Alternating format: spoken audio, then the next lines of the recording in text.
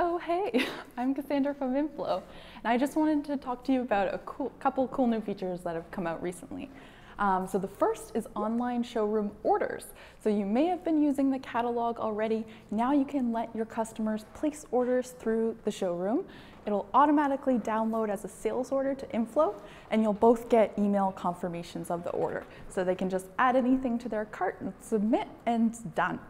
Um, next thing I'm excited about is serial number tracking. We've made some improvements where you can now easily see all the serial numbers you have in stock from your current stock screen and also see a full movement history. So if you just know the serial number, you can easily just look that up and find all the transactions related to that serial number.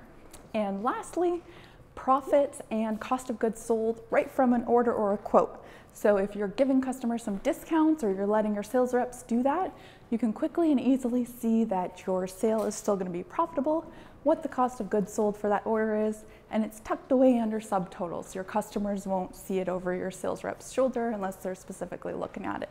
So hope you love those features. Let us know what you think, and until next time.